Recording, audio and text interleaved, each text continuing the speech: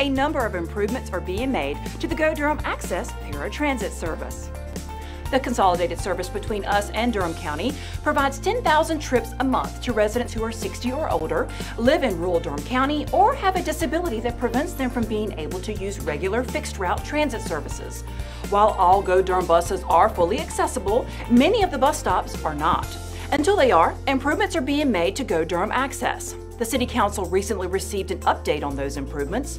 They include working to hire more drivers, using grant funding to support the use of third party vendors to provide ambulatory trip service for things like dialysis appointments, and providing on demand scheduling that lets customers have same day service. That's opposed to them having to schedule all trips at least a day before they're taken. More information about Go Durham Access can be found at godurhamtransit.org/access.